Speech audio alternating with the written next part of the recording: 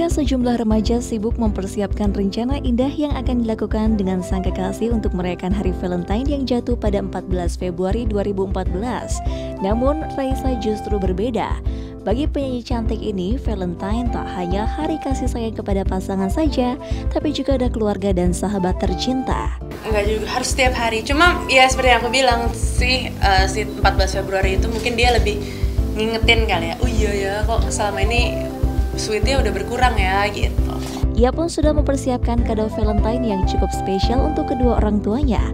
Salah satu kado tersebut bahkan Raisa membuat sendiri di tengah kesibukan manggungnya. Ma, aku sih biasanya untuk ibu ayahku aku suka beliin sesuatu gitu cuma mungkin kayak bunga atau apa gitu ya yang lucu-lucuan aja karena kan ya mereka suka kayak gitu.